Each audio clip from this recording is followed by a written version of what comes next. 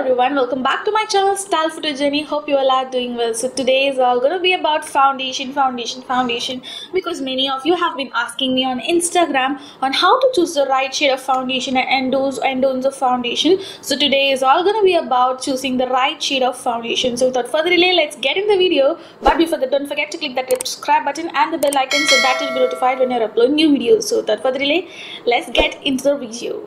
So as I mentioned before, many of you have been asking me about how to choose the right shade of foundation. Also, it is really really difficult to find that matching shade your skin, especially when you are purchasing it at online stores. So yeah, you are exactly correct. Even I have been facing that particular uh, phase where I tend to just pick up the wrong shade of foundation, then I regret buying it, and then I sort of just mix and match to just make out that perfect shade for myself. So today I'm going to share you some major tips and techniques to pick out that right shade of foundation. So yeah, let's just start the video first point that I like to mention to everyone is that it's not just about the shade of foundation, it's also about your skin undertone. So first try to find out your perfect skin undertone. There are like three undertones.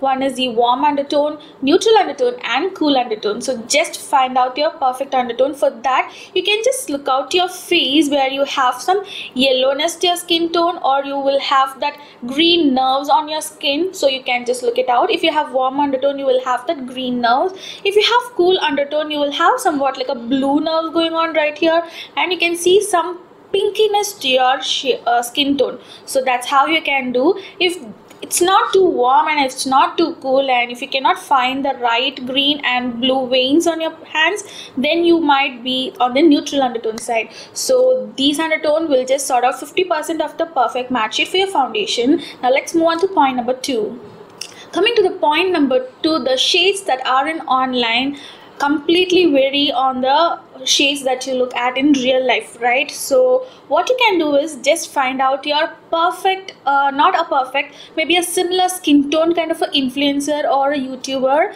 And i just sort out my perfect shade of foundation only on that way. For example uh, like my uh, skin undertone and my skin tone almost goes through the satyapriya who's my real-time favorite and also uh, slightly I can just match with Jovita Georgette as well. So I thought of just uh, see their videos what foundation shades do they do and I just I just uh, mind match the shades and think of what shade would suit me and then I would buy and that would be the perfect pick for me and that's how I bought all these these foundation. Also I'll show the swatches of few lighter shades a darker shade. Also you can just uh, see the variation of undertones on each foundation shade and you can see the matching shade. I belong to somewhat neutral to warm so both neutral and warm tend to just suit me but cool undertone foundations don't suit me. So that's how the point number two is about Point number three is one of the easiest way to find out an approximate match but as of my experience with one particular website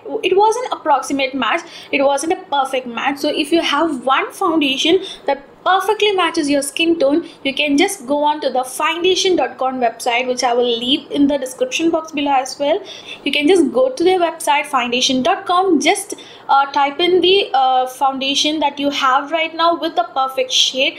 Now you will have the list of all the foundations throughout the world that you have with that approximate match. You can just make out an approximate match. Also you can match it with your similar skin tone youtubers or bloggers and then you can sort of that uh, purchase the right right shade of foundations. So this is how I pick out the perfect shade for foundations. So that's all my tips and tricks is about for the finding the perfect match shade for the foundation. I hope you found this video helpful.